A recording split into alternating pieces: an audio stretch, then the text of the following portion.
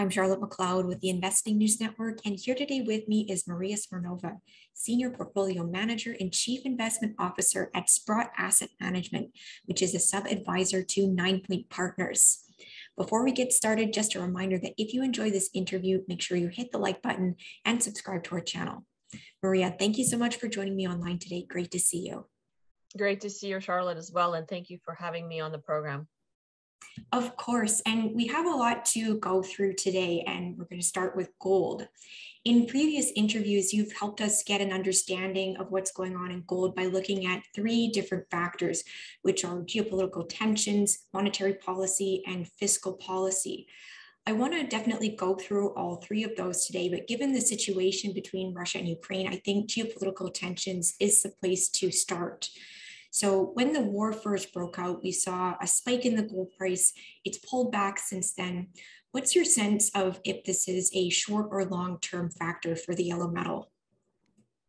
Well, certainly, you know what is going on in Ukraine is is is devastating and and tragic in my mind. Um, and we have been talking about the effect of the war on the global economy a lot. And it's not just gold; it is truly a world um, a world, you know, thing. It's going to have lasting, um, you know, I can't even speak about it to be honest, but it will have a lasting effect on the world, I believe. In, in terms of gold itself, as you mentioned, um, you know, the reaction was a bit of safe haven flows into gold. Definitely, we saw that but but on a different scale what we've been talking about is how the war is contributing to inflation and I would point to three different areas that's contributing to inflation. And of course, that will have effect on economies around the world. And that is energy, and that is food and food security, and even metals, mining, you know, because Russia is a big supplier of certain metals such as nickel, such as platinum, palladium, even gold and silver are going to be impacted. Um, Uh, so you know we could speak about all those areas but i would say in short not only does it have a short term effect but i do think there will be long term implications as well yeah, I think you're you're definitely right about that. And as you said, there are implications beyond gold. One of the things I know that you wrote about recently is how Russia is being prevented from accessing about 50% of its foreign reserves due to its actions against Ukraine. So I wondered if you could speak a little bit about that and also connect it to gold if you could. Yeah, we think it's a very important um, thing that happened. So on February 24th, after Russia invaded Ukraine, um, in, on February 28th, so a few days later, uh, the US and Europe uh, prevented Russia or froze something like 300 um, billion of foreign exchange reserves that the Central Bank of Russia held outside the country um, as foreign reserves. Why is that so important? Well, imagine, you know, your savings are frozen. You imagine you have a savings account, you've been saving money for a rainy day, that rainy day comes, but you can't access those savings. And uh, countries around the world, though, other countries are looking at what's happened and saying, well, if that can happen to us, um, we need to make sure that we can access our savings accounts, our foreign reserves. And we've already seen the trend of various central banks around the world buying gold as a, as a store of value. So a couple of days after that announcement of the freezing of the foreign exchange, Central Bank of Russia announced a restarting of buying gold as well. Now, they hadn't been buying gold for a couple of years during COVID, and then they announced that they will restart buying. So that was an interesting, you know, immediate reaction by them announcing that. But again, we think that the broader implication of this is that other countries and other central banks around the world will follow suit and accelerate buying gold. Now, the data is delayed, so it's hard for us to say what's happening in real time. Um, but we will see as as time goes on what's happening with that. Yeah, that'll certainly be a point to watch. Moving on from the geopolitical angle, we have a lot of eyes on what's going on with the Federal Reserve right now. So last month we had the 25 basis point hike, and expectations are that we might have more this year and they may be higher than that. So I wanted to get your thoughts on what you see coming from the Fed in, in 2022. Yes, of course, there's been a lot of focus on the monetary policy of the Fed, definitely. Well, I think the market is expecting between seven and eight rate hikes this year. Uh, I think even there's some expectations of a 50 basis point hike in May as well. So an acceleration of that. Um, what will happen? Well, I guess there's different camps, and I'm personally in the camp that I don't think the Fed can raise rates that much. Uh, there's a debate going on of how high is the neutral rate. The neutral rate is important because that's the, uh, you know, the level of where the economy will, you know, where you can't raise rates anymore, essentially. Now, there's a lot of debate about that, like I said, but we're already seeing slowdown in the in the economy, not just the U.S., the world economy. Okay, but speaking to the U.S. specifically, we are seeing slowdown in retail sales. We are seeing a drawdown of savings and increase in credit credit use. Um, trucking activities rolled over housing activities weakening, uh, weakening in new mortgage applications, et cetera. There are signs in different areas of the economy that already things are slowing down. Why is that happening? Well, A, uh, interest rates have risen already, even though a little bit.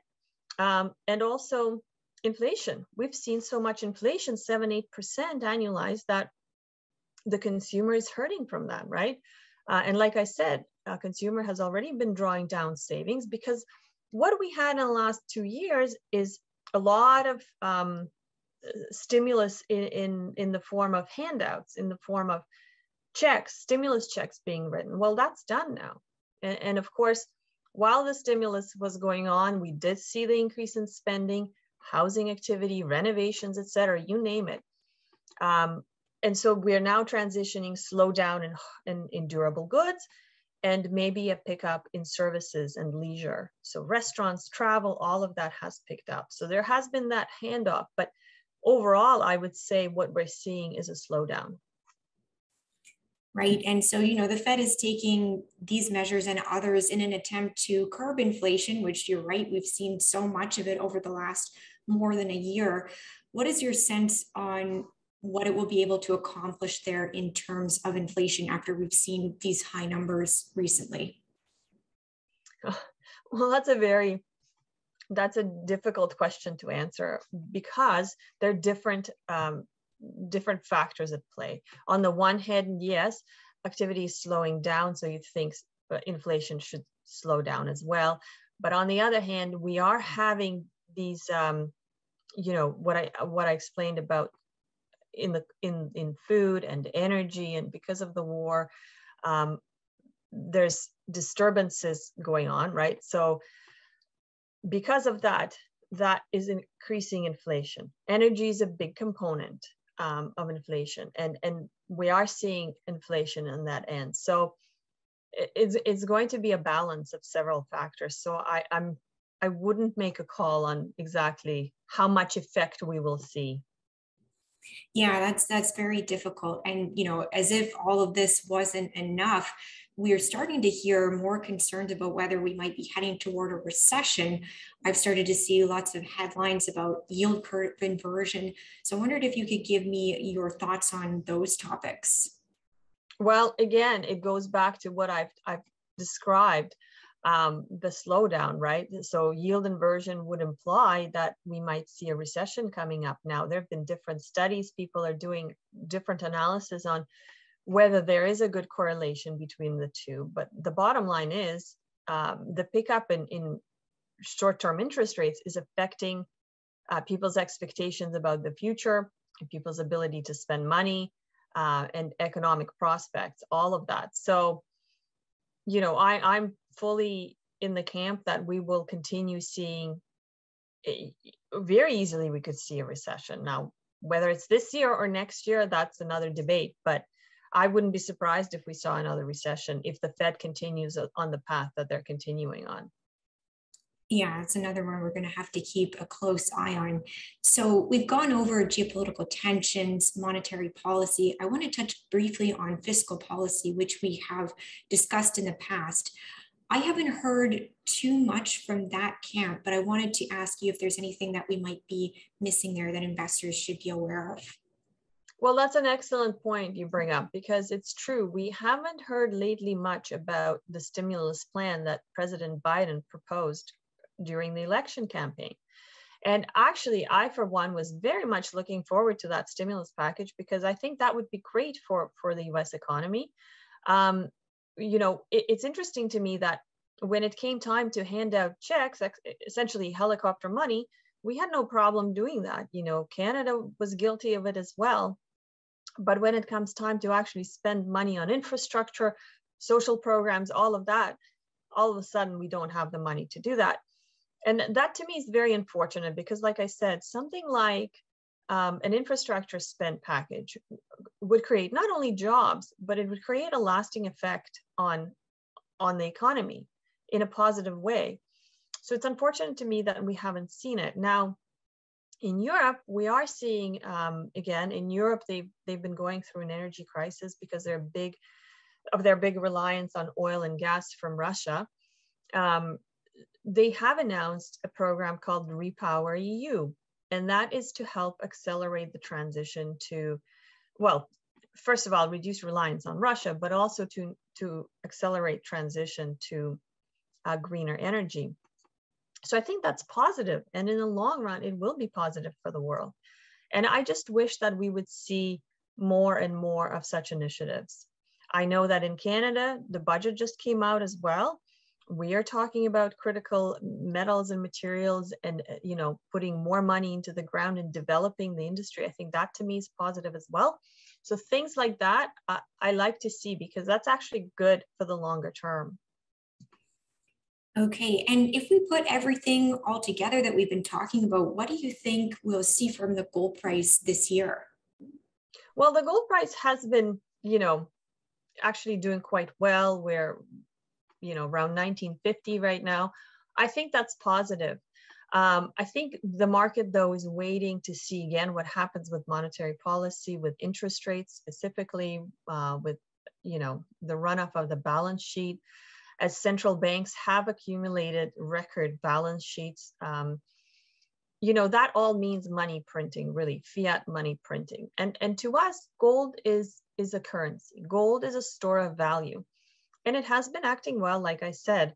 Now, critics of gold will say, well, it's, it's not $2,000 or it's not gone beyond that. But to me, you know, it, it's on the right path and it's demonstrating that while the general market is selling off, gold has been doing well and is demonstrating exactly that quality of diversification uh, of portfolios. So to me, that that's positive. Um, and, and hopefully that, you know, when that gold price starts flowing through, and it has already been flowing through to the miners, the equities respond too. They've started to respond, but in a minor way. Um, we, we need to see, you know, I guess more earnings, more cash flow generation, which again we've always we've said for a while that mining companies have been doing a better job of managing their balance sheets and their operations and we just need to see more of that going forward Okay, and I want to take a quick look at silver as well. We know that it follows many of the same drivers that gold has, but it has its its own unique drivers as well. So I wondered if you could talk about what investors should pay attention to there and also go into silver price expectations for 2022. Right. So silver is actually one area where I wish it would be doing better. And I think people still don't realize how um, how important silver is in the greener economy and what we've talked about, you know, about transitioning away from uh, fossil fuels and to to the future. Um, silver plays a big role in solar and projections for silver use in solar continue to grow. Uh, it's used in automotive, in electric vehicle, it, and it in greater amounts in electric vehicles versus internal combustion engine vehicles. So the list goes on. Silver is very important in that area, um, but it has this dual dual head, right? It's an investment vehicle, but it's also used in industry. So I think it's a bit in limbo right now, right? It doesn't know which way to turn. But I think once gold picks up steam more, and we see this every single time, we saw this in COVID, we saw this in GFC, et cetera. Uh, once gold kind of picks up steam, silver outperforms. And, and so we're not quite there yet, but you know, it will come. I'm quite, uh, I'm quite confident of that. And I will also point out um, that there have been quite aggressive expectations of mine supply growth, which have been, they're being revised down right now because unfortunately, on the silver side, well, it's not as easy to bring production back. And especially we're still coming out of COVID. We're still having, um, in certain countries, COVID outbreaks. Uh, not everywhere, but in, in certain areas. And that is unfortunately still affecting miners. Uh, so I would say that on the supply side, it hasn't bounced back as fast as people thought it would. So that is positive for the silver price, of course. Um, so I think, you know, on the demand side, the demand is very healthy and strong because investment is coming back as well. And then on the supply side, it's steady, eh, but I think people may be disappointed by how fast silver mining will come back. Right. And you started to talk a little bit about the companies. So, maybe the most important question for investors right now where do you see the most opportunity when it comes to the gold and silver stocks at the moment? Well, um, recently larger caps have been doing better, but we, we do believe that for us, the, the best opportunities still lie in exploration and small to mid-sized production. Uh, why is that? Well, the, the large miners, the big caps, are struggling to maintain output and grow output. Whereas, you know, this is where the juniors come in, number one, by finding ounces. And that's why we love explorers, people who raise money to put, you know, to drill and put money in the ground. And on the production side, we've seen some consolidation in the industry. And it's, you know, generally happened in the smaller end of things. Um, so you know, for us, again, that's our sweet spot. We do focus on the small to mid caps. Uh, I will say that one area that's becoming more tr tricky for us is development.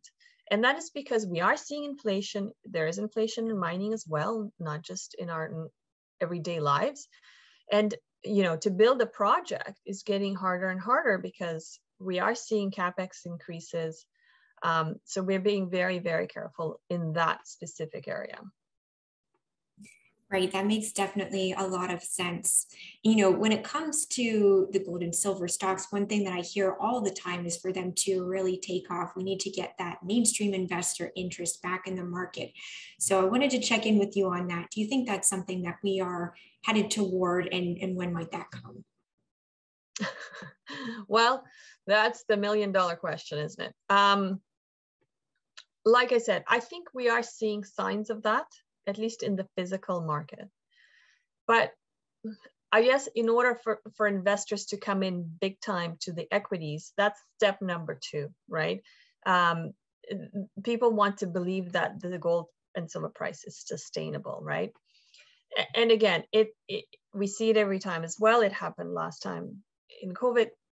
It, it comes as the next stage. So if we have a bit of more rally in gold and silver, investors will pile into the equities as well. And I think what's helping right now is what I mentioned before is the general market has been seeing weakness. Um, so, you know, maybe people should consider owning some mining equities, gold and silver equities as a, as a hedge or diversifier for that. Yes, so thanks for taking on the tricky questions. Mm-hmm. The last thing for you today is if there's any other final thoughts you would add for investors on, on gold and silver right now that you think we should know about.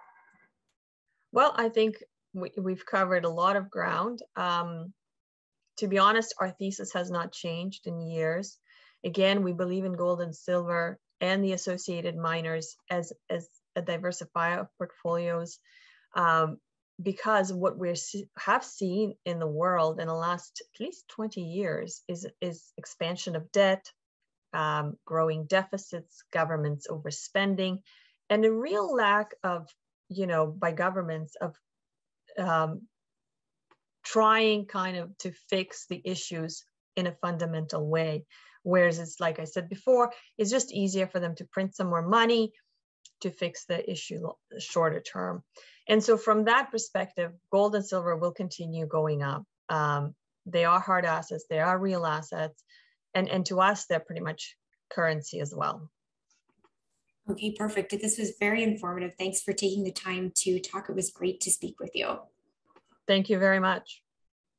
Great. And once again, I'm Charlotte McLeod with the Investing News Network, and this is Maria Smirnova with Sprott Asset Management.